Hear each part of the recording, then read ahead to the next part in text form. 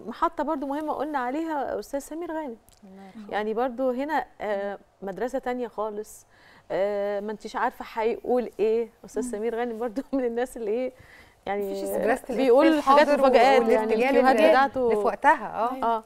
احكي لنا بقى عن كواليسك مع أستاذ سمير غانم. أستاذ سمير إحنا عشنا أنا عشت معاهم ثلاث سنين من أحلى أيام حياتي. قال سمير غانم عموما يعني. آه. طبعا. صح هم طبعا ناس محترمة جدا و- طبعا. وخدومين جدا ووقفوا في مواقف كتير معايا. يعني أنا حتى فاكرة إن أنا في العرض بتاع ترى لملم أنا تعبت جالي حاجة كده معينة قعدت فترة طويلة في المستشفى وكانت أول حد جات لي دلال مدام دلال الله يرحمها وكانت إيمي. آه يا روحي. ووقفنا العرض أسبوع. بس أنا كنت. قعدت شوية يعني طولت شوية فهم كون إن عرض يقف يعني دي بتبقى مشكلة العرض للمنتج أسبوع. أسبوع؟ مم. آه. وكانوا بيزوروكي. والله حد جالي، على إيمي آه، وعلى أستاذ سمير طبعا يعني. دنيا آه. بس ولاد أول حد جالي آه ما بتحصلش الحكاية دي على فكرة. والكرم. دلال دي كانت كريمة قوي يعني. بص أنا اتعلمت الكرم وإن تعملي الواجبات اللي عليكي و... و... وتساعدي وجبر الخواطر من الله يرحمهم دلال عبد العزيز ومن رجاء الجداوي الله يرحمه. الله يرحمها و واستاذه ميرفت على ذكرها ما هم كانوا. أصحاب الثلاثه الثلاثي اللي دايما كنت أشوفهم آه. في أي مناسبة حاضرين. في أي فرح في أي حزن حاضرين. أيوه صحيح. فبصراحة أنا جبر خدت منهم الخواطر زي ما. قلت يا نور آه فعلا. خدت منهم حاجات كتير ودايما يا رب يجعله في ميزان حسناتهم طيب نور انت شكلك خواجاتي خالص.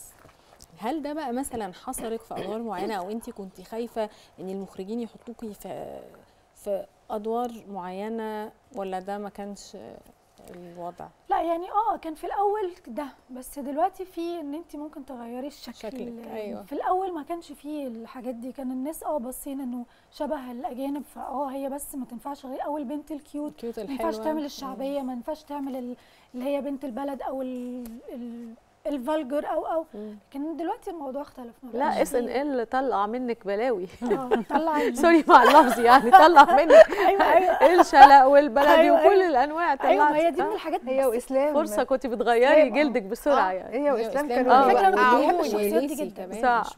يعني أنا ما بحبش الشخص البنت ال cute دي. لا لا يعني عادي آه. نحبها برضه. بنكرهها لكن بتلعب كل آه، الأدوار. أنا بحب الحاجة الصعبة اللي هي تبين الشخصية اللي هي مش ده الطبيعي بتاعها يعني أيوة. أنت شخصية قوية الحمد ما شاء الله ما شاء الله نمسك الخشب مم. طب الشخصية القوية دي أعتقد ما بيبقاش عندها صعوبة في إنها تتعامل مع ال social media بقى دلوقتي بالانتقادات بالهجوم بالتنمر لأن عالم ال social media بالنسبة للفنان تحديدا بقى شائك مم. وساعات بيأثر في فنانين كتير وفي منهم بيقفلوا صفحاتهم في منهم بيخش يرد وفي منهم آه. بينبسط فاحكي لي طب كده عن تجربتك أو يعني مع الشهرة وال social media كانوا ومع الأمومة كمان ومع انك زوجه يعني تركيبة مش بس هو سهلة. كل ده انت بتحطيه في في, يعني في حتة واحدة. تتعاملي مع ال social media إزاي؟ يعني مع ال social media يعني انت. نزلتي صورة ليكي قريب في الحرم المكي؟ آه. ناس كتيرة انبسطت بالصورة وناس كتيرة هاجمت وانتوا بتحطوا صوركم ليه كشخصيات عامة وانتوا في بيوت لا في ناس كتيرة اتبسطت قوي من الصورة آه ما دي. أنا قلت وفي ناس وف- هاجمت. وبعد ما نزلت صورة تانية. الناس هاجمتني. إنه انت آه. إحنا افتكرناكي اتحجبتي. وانت بعد ما رحتي زرتي الكعبة جاية لا لا لا لا, لا ليه بنحكم على. الناس كده يعني دي طاعة وعبادة عملتيها هي الفكرة إن يعني. أنت فنان ففي الأول وفي الآخر غصبا عنك لازم تنزل طول الوقت تبقى أكيد. متواجد وطول آه. الوقت الناس بتطلب منك إنك تكون متواجد يعني أنا شاركهم لما لحظاتك بتاخر المهمة آه. لما بتأخر شوية في إنك تنزلي بوست أو تنزلي حاجة الناس كلها بتقول بتردي على الانتقادات يا نور ولا بتطنشي؟ لا لا كنت في الأول بدي بس بقيت أكبر دماغي خلاص أصل ده شخص وبعدين الحمد لله بتلاقي جيش بيرد بيردوا- لك في ظهرك. أيوة، محتاجة إن أيوة. أنا أرد طيب